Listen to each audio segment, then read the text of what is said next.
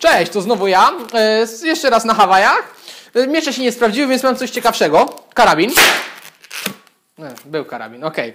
No dobra, zróbmy go. Balon pompujemy, zostawiając 3-4 cm miejsca wolnego. Zaczynamy oczywiście od początku. Tyle, ile potrzeba nam na uchwyt, czyli nasza cała dłoń. Za nią skręcamy, robiąc kiełbaskę. To będzie nasz uchwyt. Fasolka, czyli kuleczka skręcona sama ze sobą.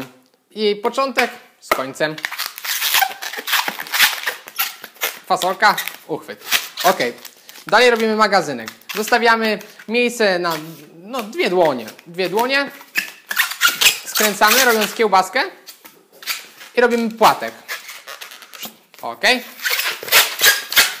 Dobra. Magazynek.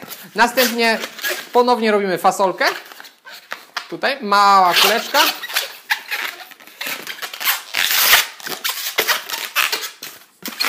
Karabin.